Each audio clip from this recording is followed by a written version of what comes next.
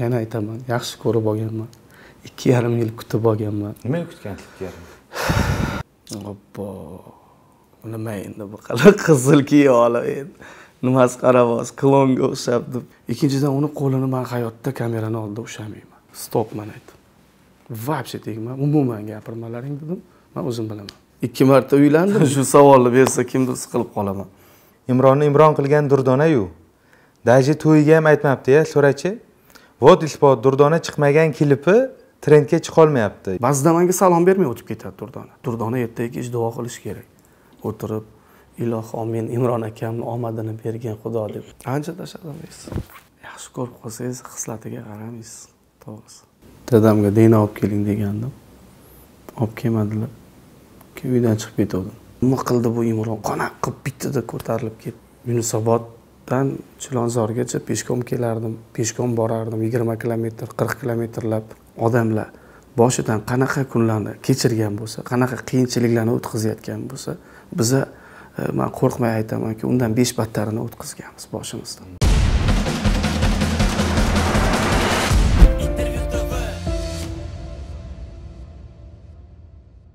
Assalomu alaykum e'tiboringiz markazda intervyu tv kanali hamda feruz muhammad. Bugun biz e, yaqin kunlarda e, nikoh oqshomi bo'lib o'tgan to'yi bo'lib o'tgan xonanda imron bilan intervyu qilamiz. Hozir ularni xonadoniga mehmon bo'lib keldik. E, to'g'risini aytaman bir ma'lumotni oldin aytib qo'ymoqchiman. Imron aka to'yini hammadan e, sir tutmoqchi edi yashirmoqchi edi. Buni imkonni qilish juda yam qiyin deb ularga rosa aytsam ham baribir o'sha mm, yo man sir tutmoqchiman dedilar lekin e, alal oqibat ko'rdingizlar voqealar qanaqa e, rivojlanib ketdi. Demak biz keldik.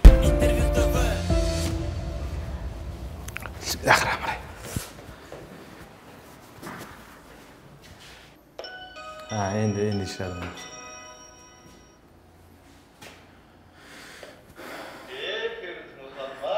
Assalomu alaykum eshik ochvering endi. Yaxshi aka sog'lardan bismillahi rohmanir rohim alhamdulillah. Biz quruq kelmadik aka quruq kelmadik. Mana operatorlar bilan keldik. Salomatmisiz rahmat. Assalomu alaykum. Xolajon yaxshimisiz? Salomatmisiz alloh shu boshlagan ishlarimizni xayrli qilsin inshaalloh. Omadimizni bersin yuzimizni yorug' qilsin sharmanda qilmasin. Nima yaxshi hizmat qilgan bo'lsak niyatimizga yetkazsin iloyim hammaga shu intervyu manzur kelsin.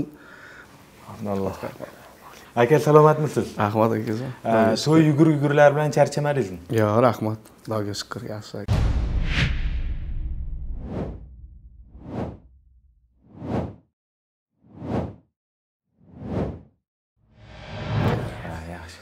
Endi keling man o'zi hozir ko'chada aytdim. Aslida imron aka to'ylarni yashirincha o'tkazib olmoqchi edilar imijimida. Dedim.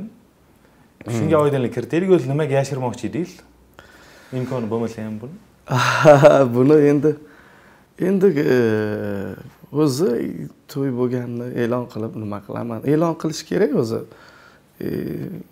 har kim har xil noto'g'ri tushunmasin baribir man san'atkormanku baribir mani to'yimga san'atkor keladida har xil vaziyatlar bemalolchilik bo'ladi o'yin kulgi o'sha san'atkorlar ham bemalol erkin samimiy bo'lib yana ham harakat qildik. O'sha buxoroda ham e, nima deydi o'sha rasm video chiqib ketmasligiga harakat qildik. E, to'ydan chiqib bu yoqqa toshkentga kelayotganimizga qarasak hamma yoq yana o'sha kelgan mehmonlar boshqa boshqalardan e, chiqib ketgan baribir. Keyin bu yoqda toshkentga ham harakat qildik endi chiqmasin baribir nima bo'lmasin.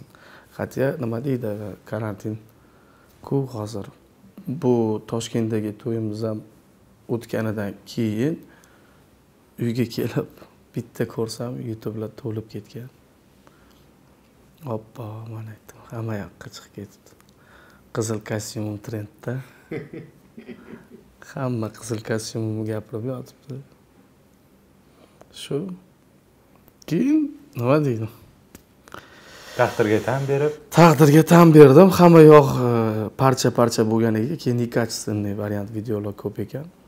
Har xil holatlar bor har xil holatlar chiqib ketgan. Endi yaxshi ijobiy hammasiyu lekin ka- sifati juda Past. telefonda olingan anaqalar keyin shu bir bir soatga yaqinrog'ini jazm qildim deydim ahd qildim deydim o'zim qo'yib yuboray bo'lmasa o'sha e, xalq baribir muxlislarimiz qiziqib so'rashdida rosa. To'liq versiyasi ozgina bo'lsa ham besh minut o'n minut bo'lsa ham anaqa qilinglar deb. Keyin qo'ydik. Keyin qizil kostyumimiz yana ham trendga chiqib ketdi. Ushbu lavhamizni diqqat bilan tomosha qiling. Balki biz sizning uyingizning markazida turgandirmiz. Biz sizlarga art house'ning mega turar joy loyihasi haqida hikoya qilmoqchimiz. Art house uylari toshkentning yuragida ya'ni uchtepa tumani uyg'ur ko'chasida joylashgan. Art house uyidan bir qadam tashlasangiz hazrati umar masjidida bo'lib qolasiz. Bu joylar ko'pchilikka Ko'kcha, Oqtepa nomlari bilan mashhur va ma'lum. Art House turar joy majmuasidan yana bir qadam tashlasangiz 81-maktabga, 81-maktabdan bir qadam tashlasangiz esa O'zbekiston Davlat jahon tillari universitetining fakultetiga kelib qolishingiz mumkin. Bir-biridan malakali bo'lgan shifokorlar xizmat ko'rsatadigan katta shifoxona. Bundan tashqari, barcha qulayliklarga ega bo'lgan bolalar bog'chasi. Eng zamonaviy ko'p qavatli avtoturargohga, mega savdo majmualariga. Misol uchun, qurilish mollari do'koni, oziq-ovqat do'koni, dorixonalar va bularning barcha barchasidan Art House'dan bir qadam ham chiqmasdan turib foydalanish mumkin. Chunki bularning barchasi Art House'da mujassam. Aytgancha, xavfsizlik Art House tomonidan to'liq nazoratga olinib, uyiga begonalar kira olmaydi. Art House 24 soat mobaynida video kuzatuv nazoratda bo'ladi. Eng muhimi, eng muhimi Art House uylarini 36 oy mobaynida foizsiz to'lash imkoniyati bor. Endi esa sizga Art House'ning avvalgi loyihalarini ko'rsatamiz.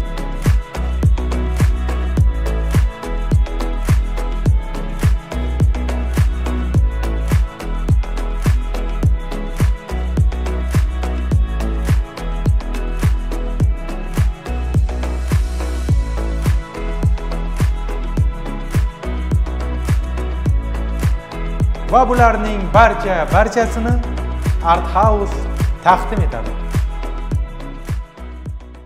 Juda ko'p savol kelgan ekan. Nimaga qizil kostyum kiyib chiqdi deb. endi nima desam bo'ladi manga o'zi qora qizil rang eng sevimli ranglarimda qizil ham ko'p kiyaman Ee, yoshligimdan yaxshi ko'raman qizilni to'y bir marta bo'ladiyu eng sevimli rangimda kiyib chiqishni xohladimda.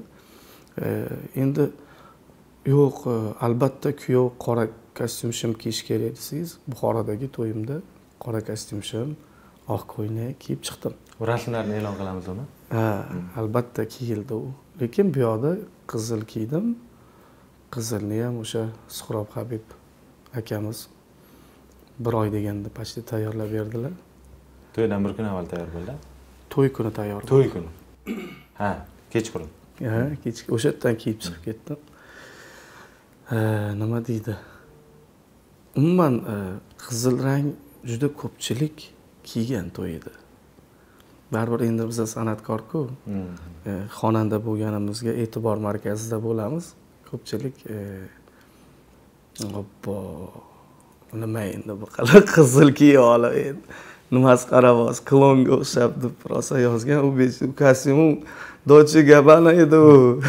Shuncha materiallarni qidirib topib lekin e, hazil hazil bilan lekin e, juda ko'pchilik juda yam nufuzli odamlar qizil kiygan to'yida. Ular agar qanaqadir qizil kiyish nimagadir bir e, yomon tomoni bo'lsa manimcha ko'pchilik kiymasdi ham anaqa ham qilmasdi. Lekin u narsa o'z yo'liga man chindan yaxshi ko'raman qizil rangni yaxshi ko'raman. Yaxshi ko'rganingiz uchun kiydik, bo'ldi. albatta endi o'sha kun mani kunimku odamzod e, bir marta to'y bo'ladi. Bir marta o'zim xohlaganim qilaydik. o'zim xohlaganimdek kiyinib chiqdim. Keyin o'sha kostyumni e, materialidan qora shimni o'rtasida mana atlasовый polasa tortiladi.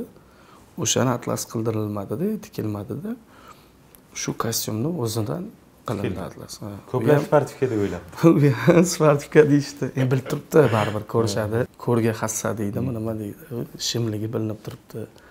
Endi improvizatsiya qilingan. Masalan e, podiumlarda moda- modellar masalan e, nima deydi?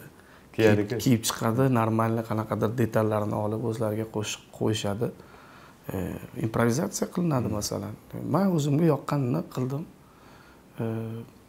albatta oddiy e, kiyim bilan yoki qo'shiq bilan yoki oddiy muomalangiz bilan samimiyatingiz bilan ham hammaga yoqolmaysizda hammani ko'nglini birday ololmaysiz. И hammaga yoqishga ham hammani birday ko'nglini olishga ham majbur emas bizada endi biza unaqa darajada imkoniyatimiz yo'q masala qiyin masala. Lekin e, xudoga shukur manga yoqdi. Yaxshi.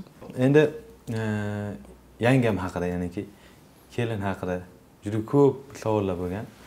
O'zlari e, sevib turmush qurdilarmi? Nimagadir to'yda xuddiki bir majburan yurgandek yuribdilar Mm. endi bilasizmi mana shu narsani man ham o'qidim. Mm. o'sha savol yo'llang deb qo'yganingizdan keyin o'qidim savollar. Ko'pchilik kelin kuyovlar e, sa- savolingizga savol bilan javob berishim ham mumkinda sizga hozir qo'lidan ushlab anavi fotosessiya qiladi baraka topsin ana fotograflarimiz yaqinroq ushlang bo'yningizni mana bundoq qo'ying. Manga yoqmaydi shu narsa. Endi har kimni o'zini anaqasi bor. Man juda yaxshi ko'raman. O'sha e, yaxshi ko'rganim uchun ham mana ikki yarim yil kutib xudo xohlasa to'y qildik. Lekin uni qo'lidan o'sha avvalambor kelin ko'ylagi bor edi. Uni kelin ko'ylagi katta edi. Yurolmasdim uni ko'ylagini bosardim. Noqulay vaziyat bu bir. Ikkinchidan uni qo'lini man hayotda kamerani oldida ushlamayman.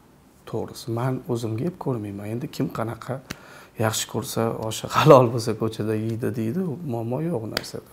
Har kimni o'zini tabi bor o'zini fe'li bor o'zini anaqasi bor. Lekin man o'zimga yeb ko'rmayman shu narsani. Qo'lidan ushlab podrushka qilib masalanda endi bundoq quchoqlab olib beshta o'nta fotograflarni oldida bunaqa har xil pozalarda turib rasmlarga tushish man o'zimga u narsani yeb ko'rmayman. O'sha moshinadan tushgan paytimda ham kamerachi ukalarimiz keldi. Ko'pchilik guvoh bo'ldi shunda ham. Qo'lingizni bunaqasiga ushlang bunaqasiga torting. Bundoq qiling dedi stop man aytdim. Вообще tegma umuman gapirmalaring dedim. Man o'zim bilaman. Chunki o'sha joyda to'xtatmasam oxirigacha to'yni mani umrimni yerdida bular. Aylanib oling qo'llaridan ushlang unaqasiga valsga qiling. Kimga kerak u narsa? Kelin ham biladi to'shda bu nosamimiy narsa. Man ham bilaman nosamimiy narsa. Ertaga u albomda qoladimi? Albomda ham ko'rsak bilamiz что u nosamimiylik qilganmiz. U tabiiy narsa emas. Man xohlamayman shu narsani. Qo'lidan ushlaymanmi boshqa narsami va uyda qilaman u narsani kim agar ko'chada qilmoqchi bo'lsa bemalol masalan har kim o'zini xohishi masalan e, bu uchun e, обсуждать qilish kerak emas. Birovni anaqasini hech qanaqasiga. Endi man e, jahlim chiqib ketib qoladi shunaqa narsalarni anaqa qilsamda qo'lidan ushlash kerak. Endi oldin oldin ikki qadam yurdim shoshganim yo'q. Yana aytaman yaxshi ko'rib olganman. Ikki yarim yil kutib olganman. Nimaga kutgansiz yarim katta bo'lishini kutganman. Ya'niki turmush e, yoshiga yetishga. Yosh kelin e, mandan ancha yosh besh yosh ham emas olti yosh ham emas sakkiz yosh ham emas o'n yosh arafasi. O'n yosh. E, O'n Yaxshi yosh- ko'rganmiz. o'n bir yoshmi? O'n to'rt yoshmi o'n ikki yosh. o'n ikki yosh. o'n ikki yosh. o'n ikki yosh boshqa gap yo'q. Endi boricha samimiy aytadigan bo'lsak ham shunaqa endi. Ma- mani xohishimku. Albatta. Man unaqa qilolmayman to'g'risi. Hattoki o'sha e, muxlislarimiz e, yoshi katta onaxonlarimiz bor. E, yaxshi ko'rib quchoqlab peshonangizdan o'pib duo qilishadi. O'shanda ham man qo'lim e'tibor bersangiz pastda turadida man har doim mana shunaqa bir Hmm. xijolatchiligim bor. Endi u tabiiy o'zimda anaqa tarbiya bu balkim tarbiyadir balkim e, qondir boshqa narsadir. Qilolmasdim baribir. O'sha ko'ylak bahona emas ko'ylak agar e, unaqa keng bo'lmagan taqdirda ham bu ishni qilolmasdim to'g'risi shu. Kelin tomonni rozi qilishmi yoki kelinni rozi qilishmi? Sizga ancha yilga tushdida to'g'rimi? Yo'q rozi qilishda emas endi nima desam bo'ladi endi to'g'risini aytadida nima desaydi yo'q qanaqa qilib e, to'g'ri aytishni e, o'ylayapmanda aniqroq tushuntirishni ha? Kelindan e, muammo bo'lgan emas. Endi bitta ikkita o'zimizni odamlarda ozgina. Endi bilasizmi o'sha san'atkor xonanda-ku u degan anaqa bilan endi atrofida ko'p qizlar bo'ladi deb eng katta muammo bo'lgan narsa shu. Hmm. hamma shu narsani ushlab oldi. Uylangan bolalari bor degan gaplar. Eng yomoni o'zingizniki o'sha o'zingizni atrofingizdagilar shu narsaga anaqa qilganida masalan qarindoshlar. qarindoshlar yoki boshqa ishontirgan. endi ular ham oddiy sodda shu qishloqni odamlarida hamma uylangan deb yurganda sizda yo'q uylangan deb bilmagan unaqa deb lekin har xil gaplarga mana durdona qurbonova bilan e, o'sha ko'rmasam bo'lmas chiqib ketgandan keyin qanaqa darajada o'sha hmm. обсуждениялар bo'ldi boshqa narsa keyin o'sha bir hafta klip premyerasigacha o'zi hmm. e, rostdan ham mani o'zimda mana shu toshkentda ham qancha odam so'radi uylanibsan deb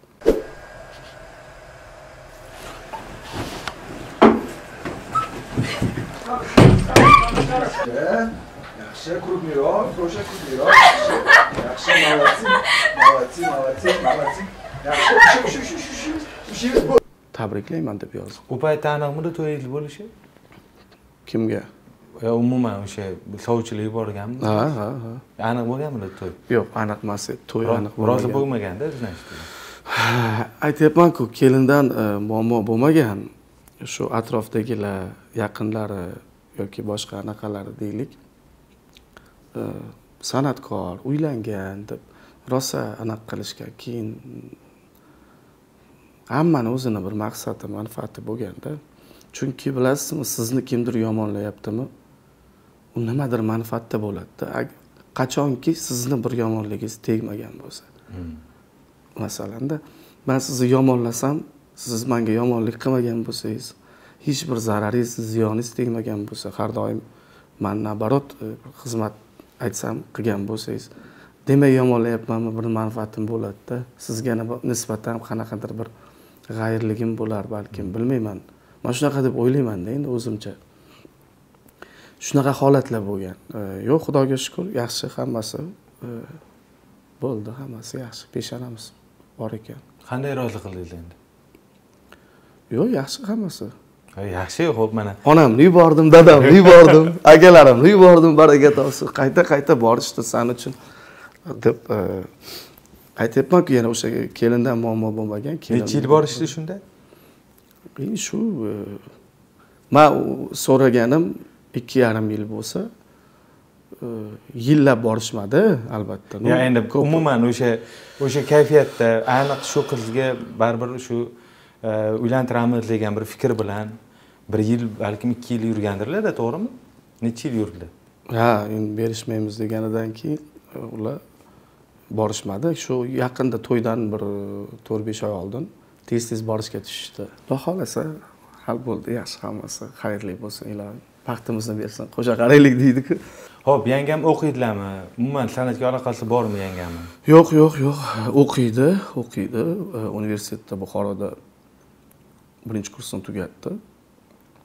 Xudo xohlasa endi ikkinchi kurs shu san'atga umuman aloqasi yo'q. O'qish tugaydimi endi shu bilan. Yo'q nimaga o'qitamiz? O'qitamiz xudo xohlasa. Siz bu yoqda yangam bu yoqda yo'q перевод qilamiz. Ha toshkentga перевод qilamiz. Xudo xohlasa. To'y haqida. O'zi umuman e, bir yaqinda bir ikki kun bo'ldi bir xonanda akamiz bilan sizni ham man ham yaxshi biladigan xonanda akamiz bilan ko'rishib qolganimizda imron ikkinchi marta uylandi deyaptilarda bo'lmasa endi ular yaxshi biladilar. Keyin yo'q yo'q yo'q dedim endi man bilamanku.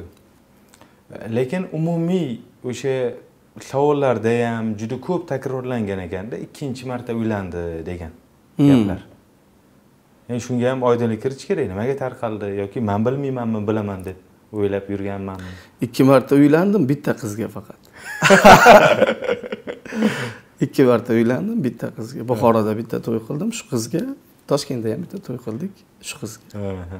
Nima uchun ikki marta to'y bo'ldi shunaqa hozir e, karantin paytlarida endi e, toshkent uchun ham qilishimiz kerak edi. E, shuncha yildan beri baribir toshkentni non tuzini yeb yuribmiz shu yerda yashab e, albatta kamchilik bo'ldi. Albatta hammani aytolmadik chunki karantin e, yana qis- qisqarib qoldi. Chunki to'yni kuni belgilangan e, belgilangandan keyin birdaniga ha bu karantin yana kuchaytirildi. kunduziga o'tdi sakkizgacha restoranlar anaqalar ishlaydigan bo'ldi kuchaytirilgandan keyin yana ham odamlar qisqardi to'g'risi ko'pchilik yaqinlarimizni ham aytolmadik lekin e, nima deydi? O'ylaymanki ular to'g'ri tushunadi. Bu narsani karantin E, o'ttiz kishi bilan ham to'y bo'ldi ellik kishi bilan ham to'y bo'ldi. Buxoro uchun alohida to'y qildik baribir buxoroni farzandimiz. И bu yoqda ham qildik. Qo'ldan kelgancha xudo xohlasa shu. Ko'p odam xarajatlar haqida so'raganda taxminan nechi pul ketdi to'yingizga endi baribir xarajat bo'ladi-ku. Endi ketadi baribir. Ancha ketdi. Ancha ketdi. O'sha to'yingiz videosi chiqqandan keyin e, qisir qisirlar jarayonlari ham muhrlanganda ha e, o'shandan kelib chiqib ham ko'p odam so'ragan xonandalarga nechi pul qistirdi Hmm. Keyin juda ko'p savollar bo'lgan. Xonandalar tekin keldimi yoki pulga keldimi? Bizani bir anaqamiz bor. O'zi mani desam ham bo'ladi.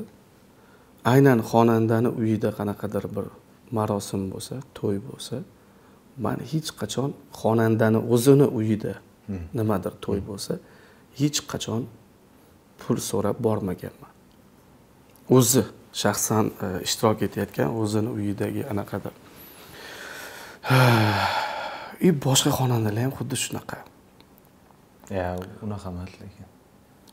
Pulga boradigan xonandalar ham bor to'yga Bor xonandani to'yiga pul olib boradigan xonandalar ko'pini man bilaman. Endi balkim ular shunaqa kelishuv qilgandir lekin man eshitganman. Yo endi yo'q deyolmayman mani o'zim ko'p aytaman shu narsani xonandani jiyani Mm. qudasi Mm. qo'shnisi emas. Mm. u ko'p u juda ko'p. Chunki undan ortib qololmaysiz o'sha. E, aynan o'zini uyiga tegishli bo'lgan o'ziga tegishli o'zini farzandi e, bolasi e, nima deydi yana onasini bir yubileyi deymiz. Boshqa boshqa. Albatta shu o'zini uyidagi to'yda yoki bir tug'ilgan kuni bo'ladimi?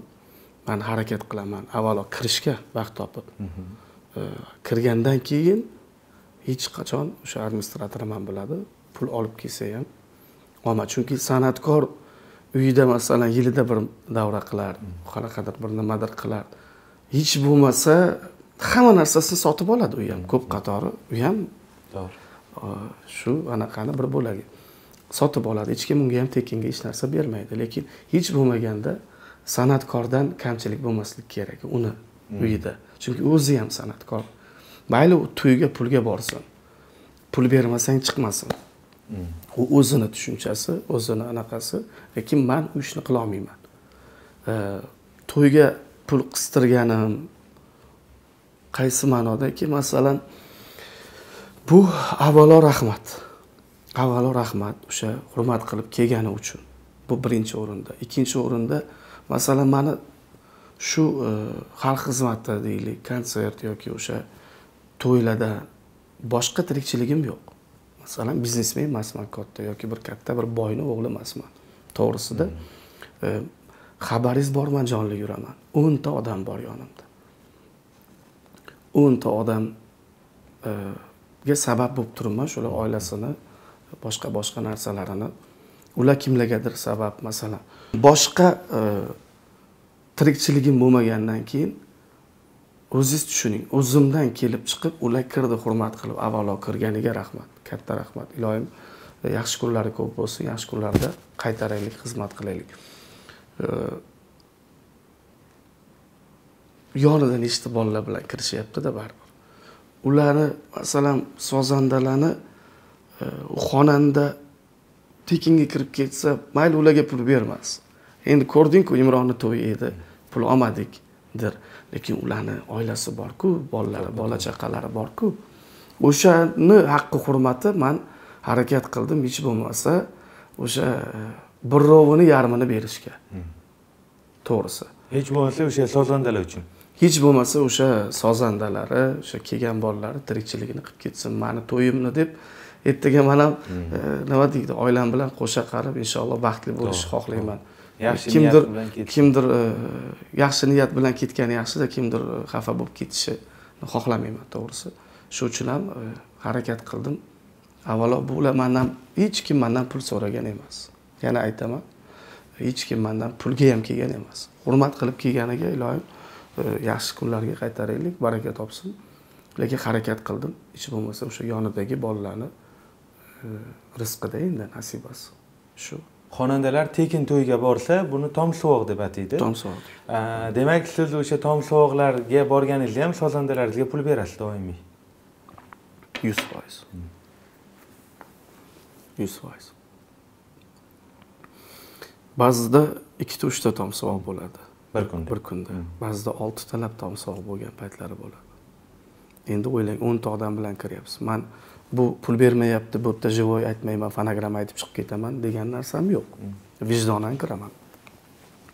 И o'sha beshta qo'shiq bo'lsa ham oltita qo'shiq bo'lsa ham jonli aytaman. Ovozim e, bir ikki marta o'ziz ham guvohi bo'lgansiz.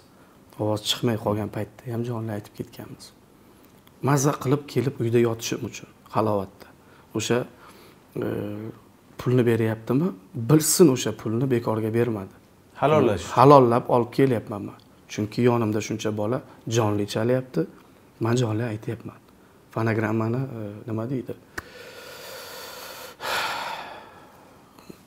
O'zimni vijdonim uchun masalan. Aytmoqchi bo'lganim beshta tom tomsuvoq o'sha siz aytganday pulsiz to'ylarga yoki qanaqadir banketlarga kirsak albatta o'zimdan administratorim qancha beramiz deydi. И o'zimdan olib berib yuboraman bolalarga. Bolalarni harakat qilaman o'sha pulsiz kirgizmaslikka uyiga. To'g'risi. Uni muzikantlarim ham sozandalarim ham hammasi biladi. E, pul berolmay qolsak mana bugun aytaylik mani ham yonimda pul yo'q deylik. Tom suvoqlarga kirib chiqdik. Ertangi xizmatlardan pullik xizmatlardan qo'shib qo'shib berib ketaman. Baribir beramiz. Rozi qilamiz maksimum. Shu hozir ko'rdik e, ayni paytda bitta videolavha ham tarqaldi. Svet o'chib qolganda jonli ijro qilgansiz hmm.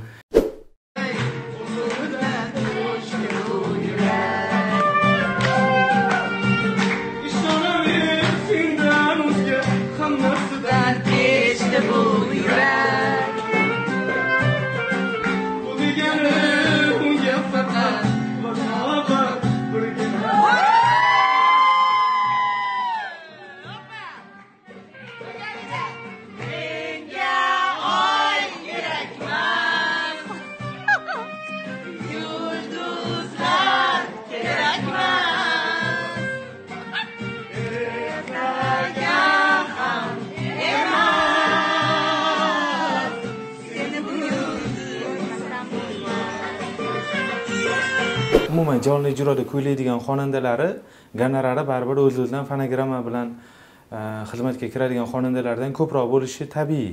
Endi bu mehnat jihatdan aytyapman. Odamlar bu gonorarni berishda e, qay darajada tushunib beryapti? Ya'niki paloncha bilan bir xil qilib qo'yavering yoki kamroq mablag'ga kiravering degan gaplar bo'lyaptimi? Bo'ladi e, fonogramma aytib ketaversinlar. Mm. Endi shunaqa fonogramma singib ketdida baribir. Man aytolmayman man juda zabardast xonandaman man falon e, maqomlarni bilaman falon anaqalarni bilaman deyolmayman to'g'risi tan olaman. E, man konservatoriyani estrada xonandaligini tugatganman. Направлением shunaqa. Har bir sohani o'zini yo'nalishini o'zini ustasi bor o'zini anaqasi bor universal xonanda emasman qaysi ma'noda? Operachidan maqom so'rash noto'g'ri tushunyapsizmi? Falonchi maqom so'rayotadi aytib berchi manga? U operani keng ma'noda qo'pol qilib aytsa yorib tashlaydi. Operachi u. Мировой e, yo'nalishda bu. Undan maqom so'rab bo'lmaydida. U operani o'zlashtirishi uchun o'n yil o'n besh yillab umrini tikkan. Xuddi shunaqa maqomni o'zla- o'zlashtirish uchun yigirma yillab umringizni tikishingiz kerakda. Har bitta yo'nalish bu umr degani. Uni so'rab bo'lmaydi. Shunaqa xudo xohlasa mana ancha odamlar ham tushunib boryapti bu narsani. Lekin baribir ham ko'pchilik bor haligacha gonorarni ko'tarmaydida. O'zlari kelsinlar muzikantlarni olib kelmasinlar mayli fonogramma aytib ketaversinlar deydi tushunmay qolamanda masalan.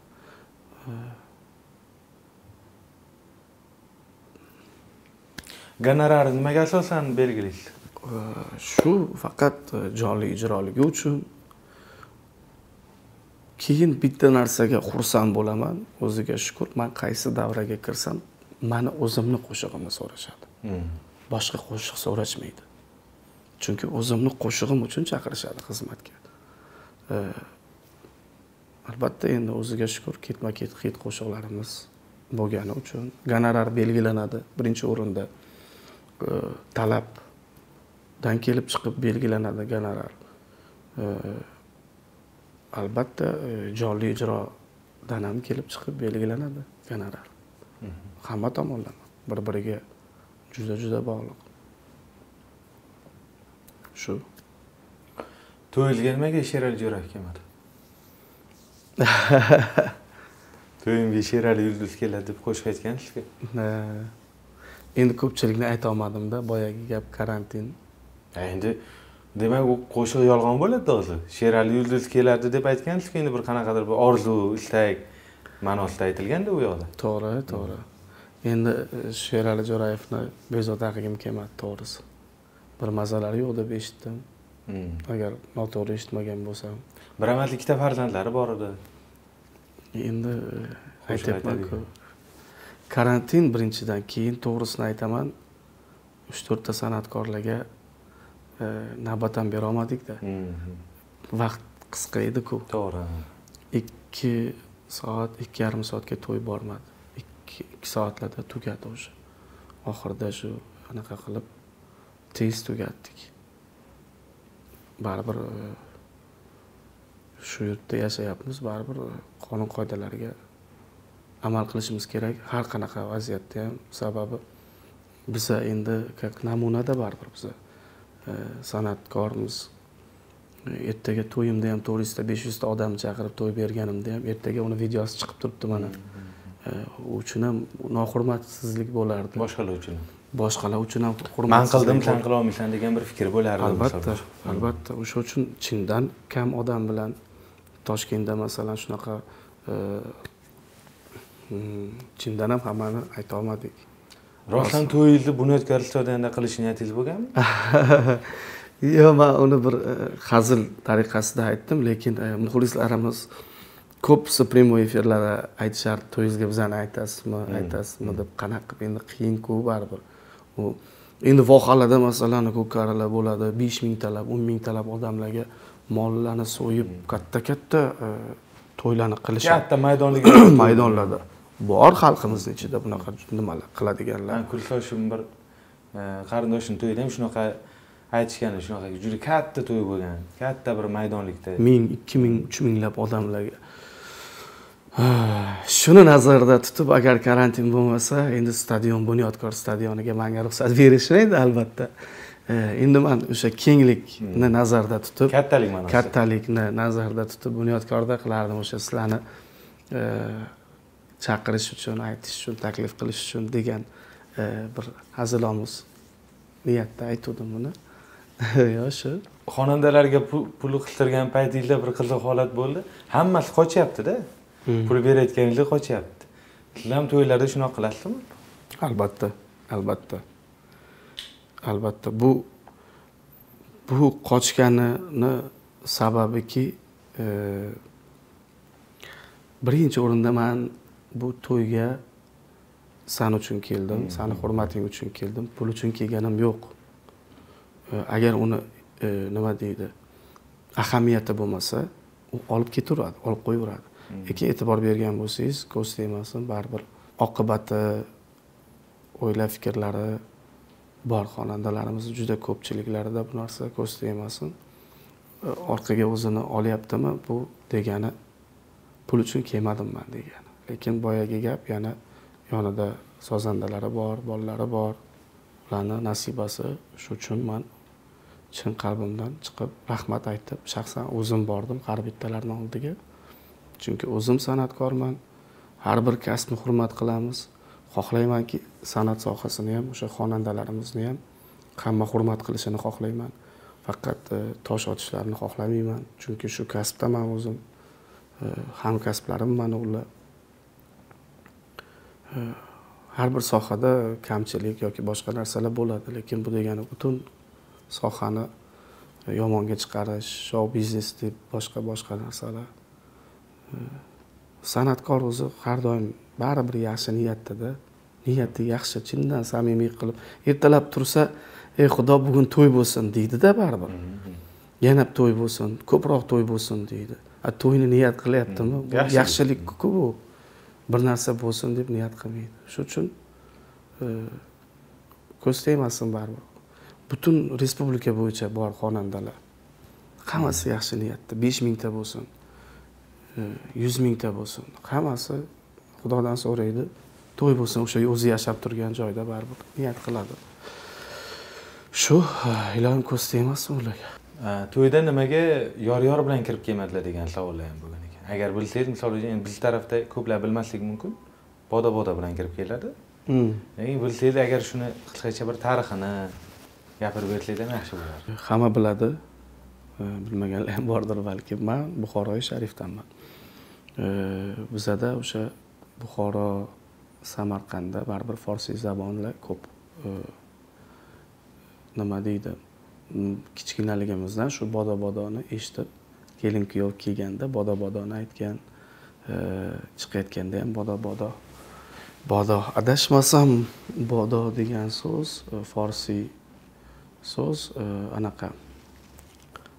Yana degan ma'noni bildiradi adashmasam shunaqa.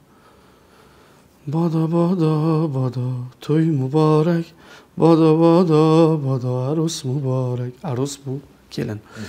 Mm. shu bilan katta bo'lganmiz.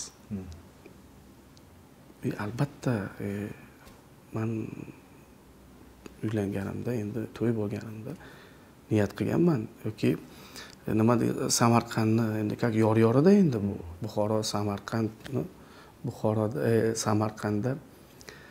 Yak dona yak dona dudona anori dona dona yak dona yu dudon shunaqa e, yor yorlari bor masalan. Buxoroda shu bodobodo shu bilan endi katta bo'lganimizdan keyin baribir e, vodiy to'ylar muborak bilan kirib keladi. Singib ketgan o'sha o'zi katta bo'lgan e, toshkentda mana kelibdi. Baribir hamma joy o'ziga yarasha o'ziga yarasha urf odati bor. Masalan hattoki o'sha siz kiyib turgan do'ppilarda farq bor. Mm, albatta. Mm, xorazm umuman boshqa bir anaqada formada e, vodiy boshqa formada buxoro samarqand boshqa. Shu e, bu oddiy holat oddiy. Ko'pchilik buxorodan e, buxorolik e, san'atkorlar uylanganda bodo bodo bilan kirmaganda Mm, mm. e, kelibdi bilan yoki to'ylar muborak bilan kirgani uchun e, ko'p muxlislarimizga umuman xalqimizga yurtdoshlarimizga qanaqadir boshqacha tuyuldi. boshqacha tuyuldi yangi bir anaqa tuyuldi. Yo'q bu biz shu qo'shiq bilan katta bo'lganmiz. Bodo bodo bilan kelin kuyov kirgan bodo bodo bilan dadam onamni olib kirgan ikkita akam olib kirgan E, albatta man ham shu yor yor bilan kirdim. O'zingizni tug'ilib o'sgan joyingizga e, sadoqatingiz bu mehringiz muhabbatingiz bo'lmasa man o'ylaymanki boshqa kishida ham sadoqatingiz bo'lmaydi mehringiz ham muhabbatingiz ham bo'lmaydi. O'zlikdan kechib ketib bo'lmaydi. Ba'zan urf odatlarimiz e, xalqimizga qimmatga tushadi. Ko'pincha to'ydan qarz bo'lib chiqishadi. Qarz bo'lmadingizmi to'ydan? Endi bilasizmi e, harakat qildim qarz bo'lmaslikka. Xudo xohlasa yaxshi hammasi yaxshi. O'ziga shukur to'g'risini aytaman juda yam ko'p savollar kelgan. Adashmasam bir yarim ming yoki ikki ming atrofida o'sha muxlislarimiz e, o'zlarini qiziqtirgan savollarni yozib yuborishgan. Ular ham baribir bermasam bo'lmaydi.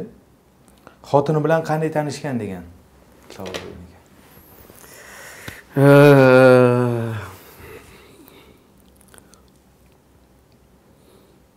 e, bobolari olamdan o'tib qolgan qarindoshchiligimiz bor. Rahmatli e, amakimiz.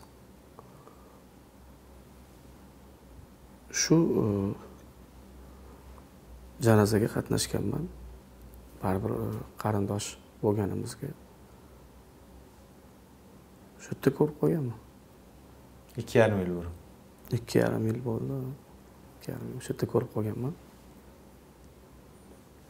Mm, ammam onamlar mana shuncha qiz qara qachon uylanasan san?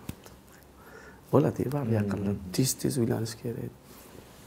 Ko'rmani qizlarni ichidan ko'rman bularni ko'rdim. Qarab chiqqanmanda mana shu qiz deganman yo jim deyishgan bu yosh bu hali berishmaydi buni. Bo'lmasa so'ramaylar mandan deganman bo'lsa shu deganman shu.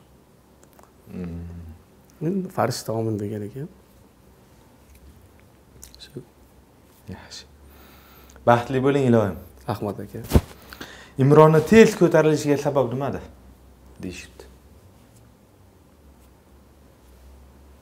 O'zi sabablarni qator qilib qo'yadi endi. Xohlasa shu chunki tez ko'tarilmaganman man ikki ming o'n ikkinchi yil konservatoriyani bitirganman endi o'n to'qqizinchi yilda yomon qiz chiqdiku. Juda tez ko'tarilmaganman kollejni o'qiganman uch yil. To'rt yil konservatoriya yetti yil. Bu orada ijod qilingan. Yana o'n ikkidan o'n to'qqizgacha e, yetti yil. O'n to'rt yillab omadimni kutganman. Tez ko'tarilmaganman. Endi kimnidir nazdida tezday tuyuladi. Siqilmanglar. Man o'n to'rt yil omadimni kutganman. Kimdir o'ylab siqilayotgandir nima qildi bu imron qanaqa qilib bittada ko'tarilib ketdi. Yo'q unaqa emas. Xudodan so'rab yotganman man ham peshkom yurganman kelinki o'sha metroda ham pul bo'lmagan. Avtobusga chiqishingni umuman e, orzu bo'lganmi? orzu bo'lgan. E, shu yunusoboddan chilonzorgacha peshkom kelardim. Peshkom borardim. Yigirma kilometr qirq kilometrlab.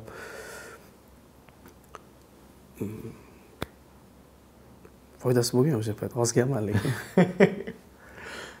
Endi e, ko'pchilik e, nazdida voy yomon qildi bu bitta qo'shiq bilan chiqib ketdi. Endi shu o'n o'n uch yillik e, sabrga xudo berganidir balkim o'ziga shukur bardavom qilsin. Juda qiynalganman bu shunchaki anaqa emas mani dadam boy emas yoki bir boyni bolasi emasman masalan qanaqadir meros qolmagan manga. Oddiy shu talaba bo'lib kelib konservatoriyada o'qiganmiz. Xudo deb haligacha yuribmiz masalan. Ketib qolish bir qanaqadir fikr tug'ilmaganmi? O'n uch yil endi bu katta muddatda. Shu yomon qizdan oldin bo'lgan. Qayerga ketib qolish? Buxoroga qaytish ha. Nima qilardingiz agar umuman bu soha bo'lmasa? O'zi bilan qo'lingizdan boshqa ish kelmaydi baribir shuncha yil faqat san'at yur- yurgansiz demoqchimanda yo nimaga? Ko'p ko'p mehnat qilganmiz boshqa sohada stroykada ham ishlaganman aka Hmm. hamma sohani qilganman. Endi o'tirib olib e, intervyularda dardimni dasturxon qilib man u sohada ishlaganman o'n yil mehnat qilganman bu sohada besh yil qiynalganman. Endi man qiynalganman. Uni odamlarga manimcha qizig'i ham yo'q. Odamlarga hozir mani to'yim qiziq Э, и aytayotgan ijodim qiziq. Qo'shiqlarim yoqayotgan bo'lsa eshitib shu qiziq masalan. Э, baraka topsin shu trendga ham chiqarish shu xalq muxlis yurtdoshlarimiz ko'z tegmasin shu yurtdoshlarimiz o'sha har bitta oddiy bizani ko'rib turgan hozir youtubedan ko'rib turgan odamlar boshidan qanaqa kunlarni kechirgan bo'lsa qanaqa qiyinchiliklarni o'tkazayotgan bo'lsa biza man qo'rqmay aytamanki undan besh battarini o'tkazganmiz boshimizdan tappi qilib bitta qo'shiq bilan mashhur bo'lib erkatoy bo'lib yurganimiz yo'q to'g'risi o'ziga shukur shukurlarni berganiga shukur shu boshqa narsa bu yoqda yo'q to'g'risi ham shunaqa mani endi qarindoshlarim bilar ota onangiz biladi ota onam biladi bu narsani hamma narsani o'ziga shukur shukurlarga yetkazganiga shukur shu. Azizlar sizlar to'g'ri tushunasizlar. Odam uylangandan keyin o'zi shunaqa past sekin gapiradigan imron akani ovozi zo'rg'a chiqyapti shuning uchun endi buni to'g'ri tushunasizlar. Kayfiyatlari yaxshi просто o'sha baribir uylanish ta'sir qilar ekanda. Kimgadir qanaqa. Ho'p yaxshi. Piar edi u. Bu o'z nomi bilan piar edi. Nima qilish kerak imron tatlisas. U bechora tatlisas-ku o'zi rostdan ham o'sha o'n uchinchi dekabrda anaqa narsa ko'riladi. Soat o'n to'qqiz nol nol bo'ldi. Endi bitta savol bor juda yam ko'p takrorlangan. Nima uchun? O'sha yaxshi hamkori yaxshi partnyori durdona qurbonovani to'yiga taklif qilmadi. Hmm. deyishibdida yo'q man to'g'risini aytyapman.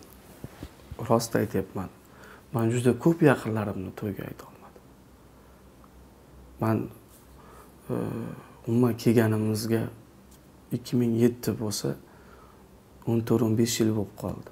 o'n to'rt o'n besh yilda mani yuztagina tanishim bo'lmaydi. Qancha mani yaqinlarim bor? Man birortasini ko'pisini aytolmadim man o'ylaymanki e, ularni hammalari bizani to'g'ri tushunishdi. E, bir osh qilib beraman deyman ko'rganda qilib beryapman ham bitta ikkita osh. Ko'nglini olish uchun yaqinlar ko'p. Hammani aytolmadim baribir. Man e, ishoning ko'pisi gila qilayotganlar e, bizani ham aytmagan to'yga. Lekin nimagadir birinchi bo'lib o'shalar gila qiladida o'zi uylanadi yoki bir anaqasini xizmatiga ham aytmagan bizani. Albatta u payt bizani hech kim tanimasdi. Endi masalan e, gila qilib birinchi to'g'ri tushunish kerak masalan mani to'y toshkentdagi to'yimga hozir shu gap bilan nuqta qo'ymoqchiman. E, to'g'ri tushunishlari uchun. E, xolalarim amakilarim ambalarim yo'q edi to'yda. Tushunyapsizmi? Ana shu karantin e, kelib chiqqan holda buxoroga ular uchun yaqinlar buxoro anaqasi uchun qilindi. U yoqda ham albatta o'sha karantin qoidalariga amal qilib maksimum rovna sakkizda to'yni tugatdik. To'g'ri. Guvohman dedik. Guvohsiz xabaringiz bor masalan. Mehmon bo'ldingiz o'sha kuni. E, hech qachon o'sha chunki ko'ryapmizda san'atkorlarni to'ylari ozgina bir o'ntagina odam yo yigirmatagina odam ko'payib qolsa ham e, albatta bir e, jarima qilishyapti. jarima bo'ladi. Shunaqa. Boshqa narsa keyin e, to'g'risi ortiqcha gap kerak emas edida bizaga o'sha uchun ham man iltimos qilaman. To'g'ri tushunishsin bizani Ya juda yam yaqin oilamiz qarindoshlarimizni toshkentga aytolmadik. Endi shu durdona qurbonova bilan hamkorligingizni umuman yangam qandoq tushunganlar? Juda yaxshi tushunadi. Xudoga shukur. Hamma narsani bilib e, ko'rib kelganidan umuman gaplashib o'sha to'ygacha bo'lgan holatda ham hamma narsani yaxshi biladi yaxshi tushunadi. Kommentariylarni o'zi o'qiydi. Shou biznesini yaxshi biladi nimaligini biladi. Hech qachon voy mana bu qiz sizga qarabdi una- unaqa narsa xudoga shukur yo'q. Iloyim bo'lmasin inshaalloh. Mana shu telefonim bir hafta tursa ham hech kim qo'lini tekkizmaydi telefonimga uni olib man bu kim bu kim? degan narsa xudoni o'zi saqlasin просто telegram bilan instagramni unga ham berib qo'yganman deb o'zi ko'rib o'tiraveradi nima qiladi telefonga tegib deydi yaxshi yaxshi yaxshi. Yo yo kesib tashlang buni? Yo'q nima kesaman? Yo'q kesinman qarang. Shu yerda bir e, ajoyib bir kommentariy bo'lgan ekanda o'qimasam bo'lmaydi. Feruzjon o'zim aylanay sandan imronni imron qilgan durdona-yu даже to'yiga ham aytmabdi-ya so'rachi. Vot isbot durdona chiqmagan klipi trendga chiqolmayapti. Yulduz usmonova bilan chiqish qildi. Yomon emas lekin durdonachalik mashhur bo'lolmadi. Durdona uning uchun omad farishtasimi deyman ey bir balosi bor ish qilib. Esiz qadriga yetmabdi. Feruz o'lasan gaplarimni to'liq o'qib bermasang. Hazil deb yozib qoldiribdilar endi mana to'liq o'qib berdim. Shu fikrga munosabatingiz endi. Astag'firulloh astag'firulloh astag'firulloh. Hech kim hech kimni kimdir qilib qo'ya olmaydi shunchaki. O'sha kimdir qilib qo'ygan bo'lsa albatta ko'ngliga solgan sababchi bo'lgan shu. Hammaniga umuman hamma narsaga o'zi sababchi. O'zi e, shu. Bizani e, partnyor e, nima deydi e, partnyor. deydimi? Shunaqa bir para sifatida qabul qildida xalq. Xalq qabul qildi e, durdona deganda imronni ko'rdi imron deganda durdonani ko'rdi. Chunki biz ham xalq xizmatida yuramizku viloyatlarda. Qanaqa duolar qilishdi endi buni uylanadi deb o'ylashdida baribir shunga. Bu ijodiy anaqa bo'ldi lekin e, nima desam ekan. Boyagi gaplariga savollariga man har doim bir musiqa qo'shiq tayyor bo'lgandan keyin youtubega qo'yaman. Youtubega qo'yaman. Radioga ham urg'u bermayman. Faqat youtubega qo'yaman chunki youtube keng tarmoqli butun dunyo eshitadi uni xohlagan paytida. Aytaman o'zimga o'zim bir milliondan oshsa qisqa vaqt ichida. Bir oyga bormasdan bir milliondan oshib ketsa demak bu qo'shiq nimadiri bor. Tamom. Bu mani o'zimni shaxsiy Fikringiz, fikrim tahlilim har kim har xil gapiradi. Har kim bosib o'tgan yo'li o'ziga. To'g'ri. Har kimga har xil u tushundingizmi mani qisqasi bu mani o'zimni shaxsiy tahlilim bo'ldi. Yomon qiz durdonagacha hit emas mega hit bo'lib bo'luvdi. Tushunyapsizmi? Klip o'tmadi ayrim sabablarga ko'ra. И yomon qizni ikkinchi klipini oldik. Shunaqa holat bo'ldi ko'rmasam bo'lmas. Hozir ikkita rizanova imronda qo'y- kanalda qo'yilgan o'zimni kanalimda o'n millionga yaqin ko'rilgan. Faqat tinglangan. M o'zi mp3ni o'zi a bunga qanaqa klip olsangiz ham yeydi уже qo'shiq uchun ham ko'riladi. O'sha uchun ham rekord bo'ldi. Yangilandi rekord. Avvalo o'ziga shukur. Sabab hamma narsa. To'g'ri tushunish kerak bu narsani man aytmoqchi emasman u hech narsa qilib berolmadi manga deb. Albatta o'sha xalqqa ma'qul keldi. Avvalambor mani to'g'ri tushuninglar ma'qul kelmasa man klipga olib nima qilardim uni? Agar manga u zarari ziyon beradigan bo'lsa klipimga tushib man nima qilaman olib uni pul berib unga. Noto'g'rimi fikrim? Albatta manga shu xalq e, qabul qilgani uchun shuni para deb qabul qilib samimiy e, qabul qilgani uchungina man ikkinchi klipimga oldim shu narsa bardavom bo'lgani uchun ham uchinchi klipimga oldim. Bo'lmasa man yana aytaman durdona bilan mani ba'zida manga salom bermay o'tib ketadi durdona. Masalan to'g'risi. Yoki man ko'rmay o'tib ketib qolishi mumkin. U bilan unaqa bir yaqinligimiz yo'q bizani. Omad farishtasi bo'lishi uchun mana u durdona ertaga kech duo qilish kerak. O'tirib iloho men imron akamni omadini bergin xudo deb qilmaydiku hech qachon. Masalan onangiz duo qiladi otangiz duo qiladi ayolingiz duo qiladi. Klipga tushayotgan aktrisa sizni o'tirib olib duo qilmaydiku. Pulini oladi ketadi. Shu to'g'ri tushuninglar bu narsani. Albatta nimadir sabab bo'ladi. Man hech narsani inkor qilmayman. Man yana aytamanki o'sha nima deydi? Qabul qildimi yomon qizni to'y bo'ladiga oldik. To'y bo'ladini xalq qabul qildimi? Yaxshimi? O'ziga shukur ko'rmasamga oldik. Bo'ldi. Har xil sabablar boshqa boshqa narsalar bor. Sabablari yetarli. Masala nimaga e, bardavom keyin yulduz usmonova bilan biza e, haqiqiy ijodiy hamkorlik qildik.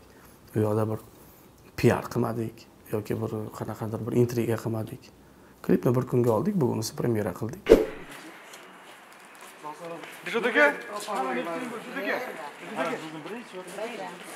Gulni olib ishga rahmat kattakon bolam. Konsertga chiqib aytdik. Man ham o'zim maza qildim ijodimda bir e, jiddiyroq narsa bo'ldi. Yulduz usmonova o'zbek xalq primadonasi. Nima deydi? O'ziga shukur shu mm, lekin bir narsani aytaman durdona bilan hali qiladigan ishlarimiz ko'p. Ijodimiz ko'p.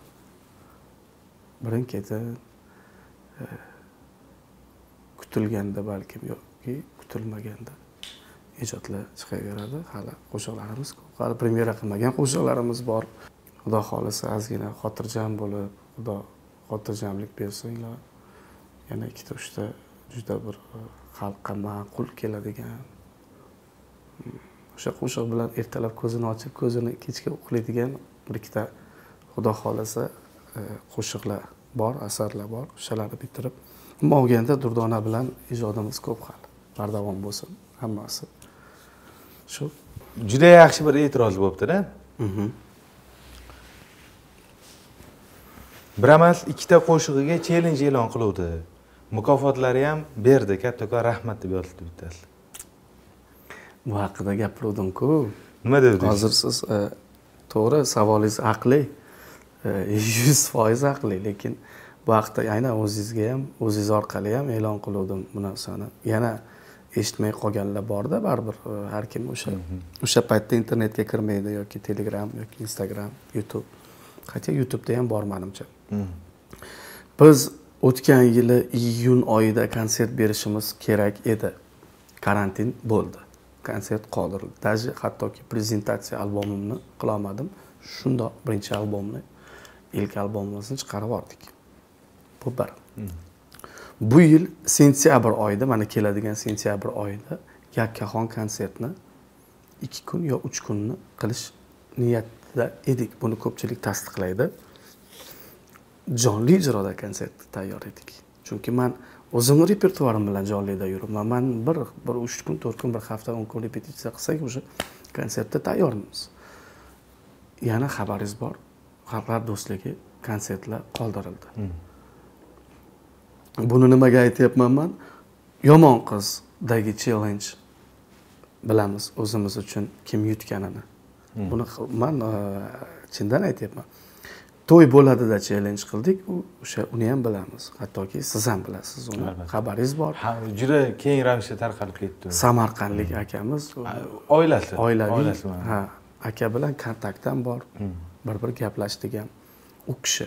Man e, birinchi yomon qizdagi chellenjni o'sha insonni chaqirib aynan konsertimda chunki bu mani vizitniy qo'shig'im yomon qiz. Man ularni konsertimda ko'rmoqchiman.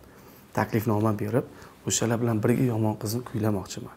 Bir to'y bo'ladida ham o'sha oilani chaqirib konsertimni o'tkazib rahmatimni aytib sovg'a salomimni berib xudo xohlasa o'sha kunlarga yetkazsin ko'p qatori. Albatta ular o'sha oilasi bilan man ham shu to'y bo'ladini aytish niyatida. Aytganman u narsani e'lon ham qilganman. Shu konsert mana shu karantin sabab man e, xalqlar do'stligida уже ikkinchi yil konsertimizni qilolmayapmiz ko'pchilikka savol nimaga imron konsert bermayapti? Kimnidir bitta qo'shiq ommalashib qolsa сразу konsert beradi. Albatta sal hitga yaqinlashsa ham albatta yakkaxon konsertni berib olishadi. O'sha holatdan foydalanib nimaga uchta to'rtta hit bo'ldi ham hali konsert yo'q. Endi karantin. Nasib endi xudo o'zi bilasizmi niyatga yarasha beradida man e, har yil konsert qilishsa tushunmasdim. Hmm, hmm. har yil yigirmata konsert yigirmata qo'shiq bilan konsert qilishsa nima shunaqa ekan deb o'tirardim o'zim tahlil qilib. Chunki yigirmata yangi qo'shiq. U kelgan muxlislarga har bitta muxlis bu nima haqida qo'shiq ekan deb o'ylanib eshitib o'tiradida hmm. siz bilan birga kuylamaydi qo'shiqni chunki bilmaydi u qo'shiqni. Xabari yo'q hali. A, chet elni anaqasiga qaraydigan bo'lsangiz umuman e, necha yillik ijodida ellikta qo'shig'i yo'q. Tushunyapsizmi? Necha yillik ijodida qirqta ellikta yuzta qo'shiq chiqmaydi. Lekin har bitta qo'shig'ini xalq yoddan biladi. Shundoq to'xtatib mikrofonni tutsa o'n mingta odam barobar kuylaydi. Man shuni orzu qilardim. Shu qo'shiqlarni boshlasam xalq man bilan kuylasa chindan har bittasini e, anaqasiga singib ketgan bo'lsa qo'shiq derdim keyin har yil konsert berishni orzu qilmasdim. Man har bitta narsani xudodan so'raysiz bergin deb. Lekin mana shuni har yil konsert qilishni so'ramasdim. Chunki uch yilga bir qilay to'rt yilda bir qilay. To'rt yillik ijodim bilan konsert beray. To'rt yillik ijodimdan xabardor bo'lib kelsin xalq. Tushunyapsizmi E, keling mayli besh kun bering o'n kun bering bir oy ikki oy bering konsert. Lekin kelsin siz bilan birga kuylasin siz bilan birga yig'lasin kulsin. Mana shunaqa bir chin ma'noda bo'ladida bu. Man yangi qo'shiqlar bilan qanaqa konsert lekin ko'p konsertlarni ko'rib analiz qilganmizda balkim bizani e, anaqamizda shunaqa qabul qilib qolishgandir balkim shu holat yaxshidir. Man ham hali konsert bermasdan oldin buncha narsani gapiryapman lekin bilmayman xabarim yo'q. Chunki e, yakkaxon konsertlarni berdik viloyatlarda. Katta keng anaqada e, do'stligida hali bergan emasmiz. O'sha uchun mm, aytmoqchi bo'lganim o'zim shu narsani xohlagan edim. Mana hozir yomon qiz to'y bo'ladi ko'rmasam bo'lmas e, ishq deylik devona deylik boshqa boshqa qo'shiqlarimiz o'g'lim boshqa e, qizim deylik. Hammasini xalq biladida man boshlasam birga aytish mumkin. Ay- ayniqsa jonli ijroda maza qilib konsert. Man uchun qanaqadir bir e, ko'nglim balkim to'ladigan xudo xohlasa ko'pchilik aytadi man ko'nglim to'lmadidir boshqa mani chindan ko'nglim to'ladigan konsert bo'lishini xudodan so'rayapman. Shu. Xudo xohlasa demak konsert dasturingizda taqdirlaysiz mukofotlaysiz albatta. Xudo xohlasa. Xudo xohlasa. Keyin e, kundan kunga semirib ketyapti imron degan savollar Yo'q. e'tirozlar bor. Semiribmanmi aka? Ozdim manimcha to'ydan keyin. To'ydan keyin a? ozmaganmanmi? Ozgan sizlarnicha endi buni o'zlari baho beradi kuzatuvchilar. Ancha tashladim deysiz bu e, o'zi eng kam ovqat yeydigan man bo'lsam kerak. Hmm. biz mana kuni bo'yi yuramiz mana hozir soat necha bo'ldi man bugun ovqatlanganim yo'q chunki vaqtim bo'lmadi hali ovqatlanmadim. E, boya onam aytdilar mana buni yeb yo'q yo'q shoshmay turing deb turib chiqib keldim masalan. E, grafik yo'q o'sha nima yo'q? Tartib yo'q. Tartib yo'q. Tartib qila olmaysiz ham. Iloji yo'q mana ko'p san'atkorlar tartib qilaman deydi harakat qilishadi. Iloji yo'q u narsani chunki kechasi o'n ikkida emas ikkida qaytib qolishingiz mumkin xizmatdan. Endida uyda muxlislar bitta eshitaylik o'tiraylik bir piyola choy ichib har qanaqa harakat qilasiz hammani ko'nglini olishga. Hmm. O'z o'zidan soat uchda to'rtda ovqatlansangiz nima bo'ladi? Ozgina yesangiz ham уже u ziyonda yeb uxlanadi. Lekin mana уже o'shani ham anaqa qilmayapman. Ancha vес tashladim mana уже qarang aka ko'ryapsizmi? Turmush o'rtoqlarini aynan qaysi xislatlar uchun tanladi? Baribir endi tanlov imkoniyati ko'p bo'ladiku. Ham san'atkorda ko'p bo'ladi o'zi yaxshi ko'rib qolsangiz xislatiga qaramaysiz. To'g'risi. U xislatini o'zingiz harakat qilasiz. O'zingizga moslab olishga. Shu e, aynan qaysidir xislatini aytishim mumkin. Kam gap. Bidir bidir bidir bidir bidir bidir qilib o'tirmaydida. Ha bo'pti deb qo'yaysizda bidir bidir bidir bidir. Rostdan ham kam gap. Ha yaxshi. Endi bu savollarga tez tez javob bersangiz ham bo'ladi shu vaqtgacha ijodlariga qancha pul sarfladilar-yu qancha pul qaytara oldilar? Ayta olmayman bir so'z bilan. El qator. El qator. Uylansam o'zimdan o'n yosh kichkina qizga uylanaman degan intervyu berganmisiz yo'q a shunaqa deganmisiz intervyu emas yaqinda o'sha sevimli kanalda. Onlayn hayot. Onlayn hayotda aytgandim. Kamida sakkiz o'n yosh kichik bo'lishi kerak deganman. To'g'ri. Imron ko'rmasam bo'lmas klipidagi to'yda o'zini erkinroq baxtli his qildimi yoki hayotdagi to'ydami deb savol berishibdi albatta hayotdagi to'yda. Manimcha hazil savol bu. Ho'p e, uni elga mashhur qilgan yomon qiz qo'shig'ining muallifi kasallik tufayli erta olamdan o'tgan sharoiti ancha og'ir bo'lgan deb eshitganman.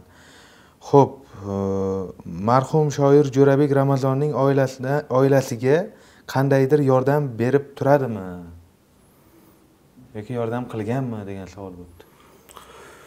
Ah. Biz e, niyat qilganmiz. Xudo xohlasa hali oila a'zolari bilan bir ikki ko'rishdik. To'g'risini aytish kerak har bitta gapni. Balandparvoz qilib reklama qi- qilish kerak emas deb o'ylayman. Lekin e, niyatimiz bor. O'sha surxondaryoni e, boysun tumaniga borib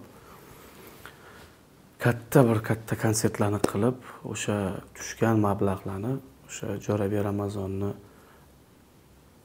e, yaqinlariga emas aynan shu farzandlari uchun qoldirib kelish niyatida turibmiz o'zi. Inshaalloh shuni niyat qilganmiz xudo xohlasa. bir o'g'il bir qizlari bor ekan rahmatlini xudo rahmat qilsin yaxshi shoir bo'lgan. Juda bir butun shoir bo'lganlar. Niyatimiz bor. Niyatimiz bor. Iloyim e, yetkazsin iloyim. Shu. Nimagadir hokimning qiziga uylandi degan gaplar chiqqan ekan yo'q yo'q yo'q kelin buxorodan toshkent shahar. Yo'q yo'q to'yimiz bir kunda bo'ldi. Ular ham qizlarini chiqardilar. Man ham uylandim bu yerda toshkentda. Shu yo'q unaqa narsa yo'q. Yulduz usmonova ellik yetti yoshda. Hali ham o'sha e, xalqlar do'stligi san'at saroyidagi eng ko'p kunlik jonli ijrodagi konsert dasturini taqdim qilyaptilar. Bu borada peshqadamlar siz ellik yetti yosh bo'lganingizda o'zingiz qanaqa tasavvur qilasiz tasavvur qilib ko'rmaganman ellik yetti yoshimni ham oltmish yoshimni ham to'g'risini aytaman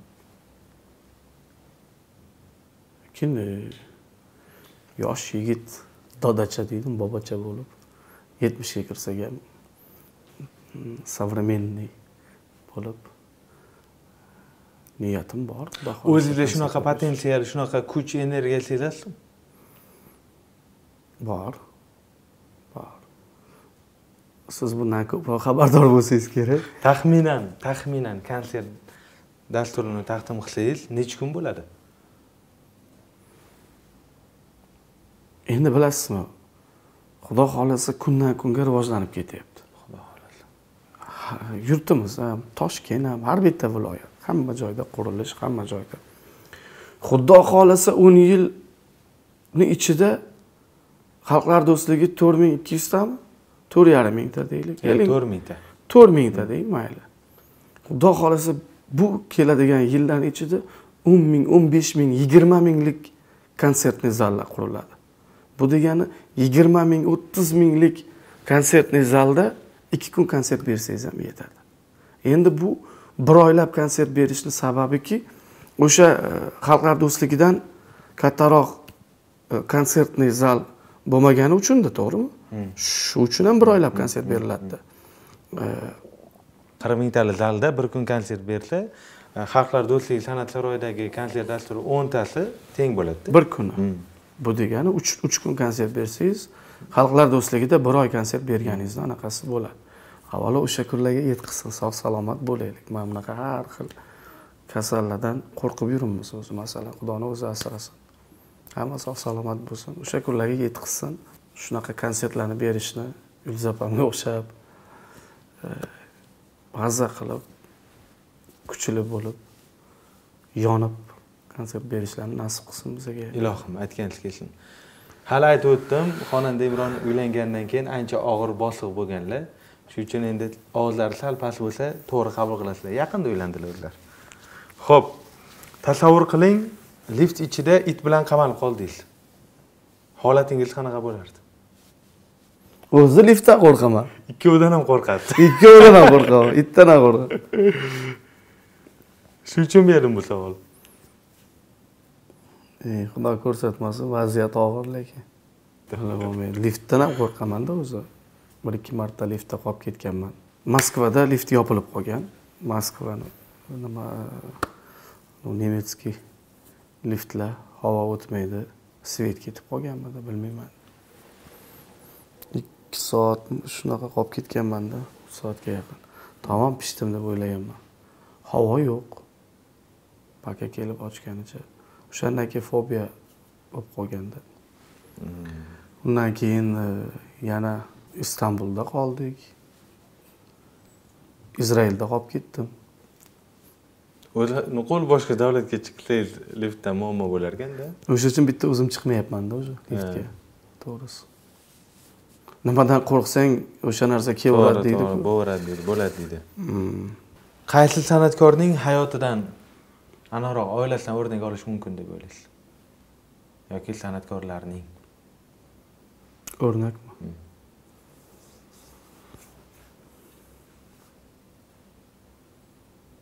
endi ko'p baribir. Misol o'zi havas qiladigan. Man endi oilasini bilmaymanda san'atkorlarimiz. To'g'risi.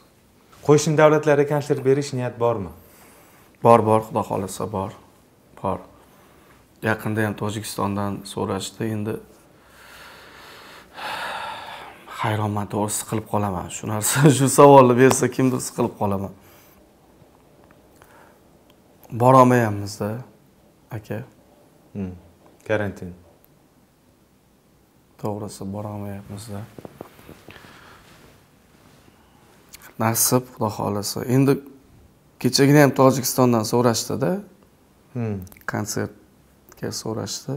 Shu ish qilib e, nasib endi niyatimiz bor. Dena hayotingizga qachon kirib kelgan? Nima nima dena hayotingizga qachon kirib kelgan deynami manimcha uch yoshimda kirib kelgan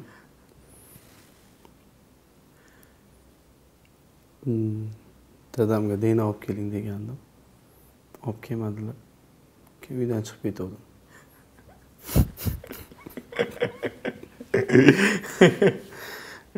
keyinchi keyin olib kelgan ekanlar ko'chaga qo'yib qo'ygan ekanlar kelib ichib ichib kirdim.